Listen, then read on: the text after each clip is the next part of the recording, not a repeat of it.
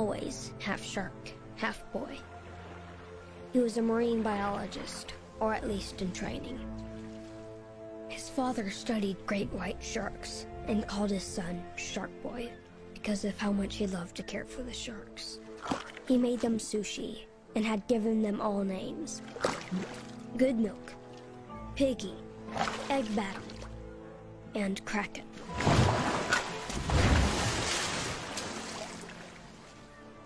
One day, an incredible, mysterious storm appeared.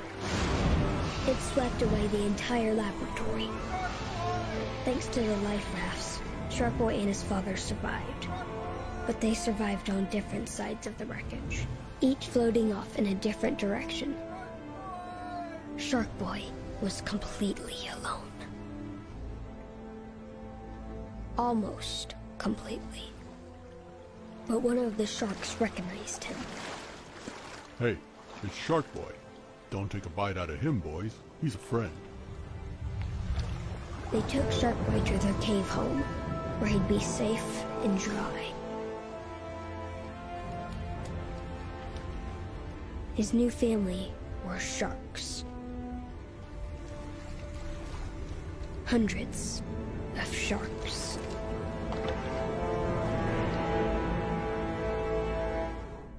The sharks raised him as one of their own, training him in the ways of the shark. You must keep moving to survive. Always go forward, never back. To live by instinct, and instinct alone. Eventually, he grew gills and sharp talons for claws. His teeth sharpened themselves to a point. He grew fins. All sorts of fins.